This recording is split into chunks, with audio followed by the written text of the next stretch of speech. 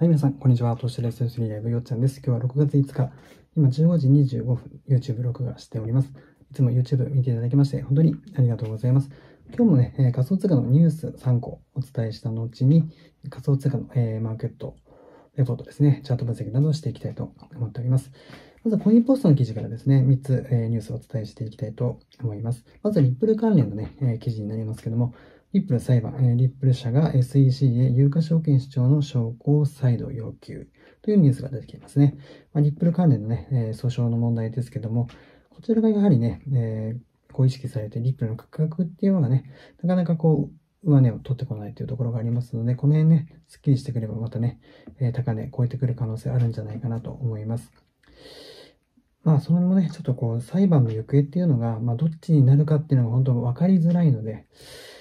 まあ、想定的にはね、まあ、ユリップにとってこう、不利なことはあまりないんじゃないかなと思うんですけども、ま、以前の動画にもね、撮ってあるので、もしリップルにちょっと興味ある方、そちらの動画ね、えこれは私の意見なんで、当てになるかわからないんですけども、ぜひ、え興味ある方そちらの方もチェックしていただければと思います。では、二つ目の記事ですね。えジャック・ドージー氏の、えスクエア社、えビットコインのハードウェアウォレットの開発を検討しているというニュースです。まあ、これもね、仮想通貨にこう安定性をもたらすようなね、ポジティブなニュースかなと思って、えー、いいニュースじゃないかなと、個人的には捉えています。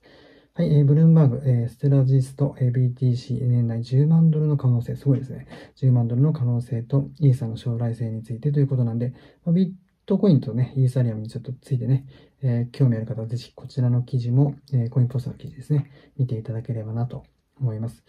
まあ、BTC が年内10万ドル、全部強気なね、こう意見が出てきたということで、これも仮想通貨にとってはね、追い風じゃないかなと思いますね。はい、えー、ではニュースはこの辺にしてですね、ちょっとマーケットレポートとチャート分析ですね、えー、コインチェックの通貨リストからいつものようにやっていきたいと思います。今日仮想通貨はね、えー、全体的に結構上がってますね。まあ安定した上昇といった感じで、まあ結構交換できる動きかなと思います。はい、えー、ビットコインからまず見ていきましょう。ビットコイン414万円ぐらいで推移しています。1.4%高。えー、昨日ちょっとね、売り込まれてたというか、ちょっと下落してたんですけども、今日朝方からね、少し回復基調にあるのかなといったようなところです。イーサリアもしっかりですね、30万5263円、えー、3.7%高ですね。今日、えー、主力のね、アルトコイン、えー、ビットコインもですね、しっかりした動きですので、ま、他の仮想通貨においてもですね、ほぼこのぐらいの、まあ、5%未満の上昇のものが多いんですけども、まあ、かなりいい動きじゃないかなと、えー、判断しています。えー、ベーシック型低昇トークですね、こちらが6%高で結構いい動きです。89円ということで。結構チャートもね、結構力強い上昇かなっていうところですね。まあ、なんか最近ベーシックアテンションとかちょっと強いなっていう印象はありますね。あただ高値が150円ぐらいですから。ここまたね、戻って、まず110円とか、100円まず超えていけるかですね。ここ超えて、120円、140円ぐらいですね。この辺まで、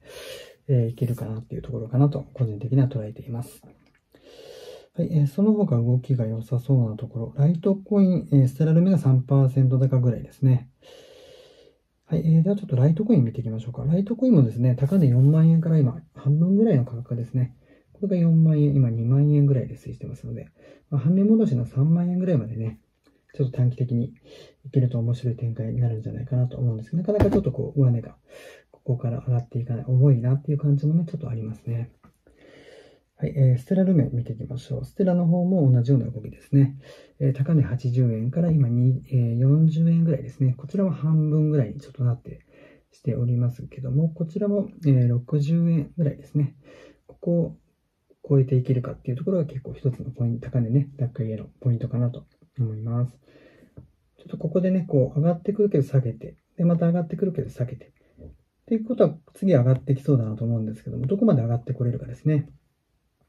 ここの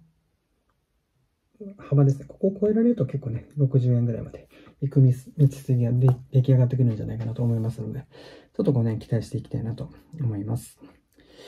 はい、えー、最後にリップルですね。リップル108円ということで2.7%高ですね。リップルもまあちょっとステラと似てるような感じですけども、こちらも100円は今キープしてますので、まあ、ここからどれだけ回復できるかというところが注目ポイントかなと思われます。リップルは結構上がると早いので、まあ、140円とか、そのぐらいまでいければいいなっていうところですね。なかなかちょっとね、上値も重いんですけども、まあそろそろなんかこう、裁判においてもね、いいニュースが出てきたりとか、え、そういう可能性は十分あるのかなと思いますので、まあ上がり出したらね、結構リップルに今注目して買おうかなって、ちょっとこう悩んでる方多そうだと思いますので、結構上がってくる可能性は十分あるんじゃないかなと。えー、ちょっと楽しみな動きも期待できるかもしれませんね。はい、えー、ということで今日の週末のね、6月5日の、えー、マーケットレポート、この辺で終わりにしたいと思います。今日は、えー、総じてね、しっかりですので、非常に、まあ、こう安定して見ていられるのかなという感じ。ちょっと物足りないっていうね、贅沢な見方もできるかもしれませんけども、まあ、しっかりした値動きで非常に好感ができる、持てるんじゃないかなと思います。ただ明日はね、週末もう一日残っていて、仮想通貨です最近週末になると避けるっていうちょっとね、えー、ローテーションルーティンみたいな形でね、ちょっとなってるような意識もされてると思いますので、明日もね、しっかりこのような動きが続けばいい。まあ、急騰じゃなくてもいいんですけどね、この辺の安定した動きがね、継続できれば、え、非常にいいんじゃないかなと、個人的には捉えています。ということで、え、今回のね、え、YouTube の方は以上となります。最後までご視聴ご清聴いただきまして、本当にありがとうございました。皆さん、素敵な週末をお過ごしください。